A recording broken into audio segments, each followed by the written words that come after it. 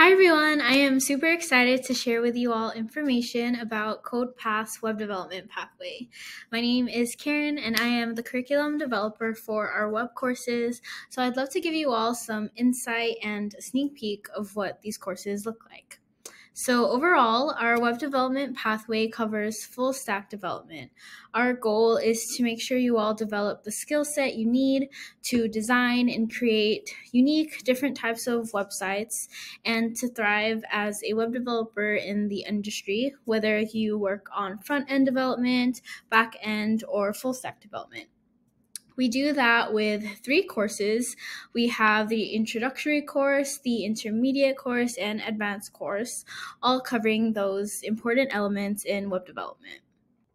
So, to dive into what each of those three courses entail, I'm taking you all to our course portal, which hosts all of the different course materials that you'll use throughout the course run of um, each course. So, in starting off with Web 101, um, this course covers the fundamentals of front end development. In the first few units, you'll explore how to structure the interface of a website, how to structure it so that um, everything you want to include on a website is there and it looks aesthetically pleasing. Um, so you'll see we'll do the, that in the first four weeks using HTML and CSS. Um, then we'll dive into JavaScript, allowing our websites to have more functionality and to be more interactive. So, for, ex- for example, um, this is an example of a one page website um, that has different features that you can interact with. So, it has a navigation bar that you can click on, um, it allows you to toggle between light and dark mode, and it also has a form that you can actually fill out. So, um, through HTML, CSS, and JavaScript, you can create a one page website like this, which you will be doing um, with your through course project. So, throughout the 10 weeks of the course, you'll be learning different concepts and each week adding on to your project. Um, so, you'll get to add that navigation bar that we saw, that form that we saw. Um, and then in the last week of the course, you get to show off your one page website. Um, showcasing all that you learned in Web 101 so far. Then, navigating to our Web 102 course. In this course, we get to take our websites to the next level and add even more interactivity and functionality. So, we add more interactivity using React, which is a JavaScript library. So here now, um, instead of creating one-page websites like we did in Web 101, we'll get to create multiple page websites. So for example, in Unit 7, we're going to be creating this project called Crewmates, and you can base it off of anything that you want, but this is an example where um, you have a separate page to create a new crewmate. You can add in your user input, and then you have another separate page displaying um, all the crewmates that were added so far. So, this is an example of a multi page website. Um, another thing that you'll learn in Web 102 is how to respond to complex user input. So, in this week's lab, you're going to be creating On My Grind, which is a game based off of Wordle. And basically, it'll test your users on um, guessing the ingredients of this um, drink. So, if I want to make a salted caramel frappuccino, um, what are the different ingredients needed in that recipe? And basically, you can check your answer and this is an example of um, getting different types of user input.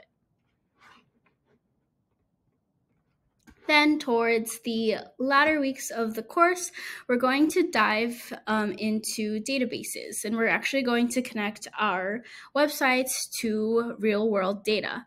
So, here in this week's project, we're going to be querying an API that allows us to showcase different types of cats, which is definitely super exciting and unique. Um, and in the course, you'll get to choose an API of your own. You'll get to um, showcase your own interests and, yeah, really let your creativity shine. But this is one example. Um, here you get to again discover different things and um, input different types of data. And now that we're getting into databases and what's going on behind the scenes, um, it's time to learn about backend development, which is what our Web 103 course covers. So, in this last course of the web development pathway, we switch our focus into databases and um, the server side of a website using Node, Express, and Postgres. So, in the first four units, you'll focus more on how to build a backend that connects to your website, and then you'll get to manage uh, data and structuring data. So, On the Fly is an example of a lab that you'll be working on in the first four weeks. And so it's basically a trip planner. It has different suggestions for trips, destinations, and you can even add your own suggestions for a trip. And so this is an example of a website that has a lot of different types of data, a lot of data relationships. And so, um, yeah, so this is going to have a complex database on the back end. Another really fun feature about this website is that it has authentication. Nowadays, you really want to create a unique user experience for your users, and that really means them being able to log in, update their own data, not someone else's data, and we do that with authentication. So in this web app, you can log out and then you can log in. By the end of the course and end of the pathway, really, um, you will have built a full stack web app like this web app here from scratch on your own. So, this is an example of a final project that showcases almost everything that we've learned throughout the three web courses. It has an aesthetic interface that allows user interaction, it allows you to update your data. So, for example, if I have 245 coins here and I need a nice latte. I can spend 90 coins, and you can see visually that my coins update, and um, you can tell that it updates in the backend also because if we log out and log in, I will still only have 155 coins left.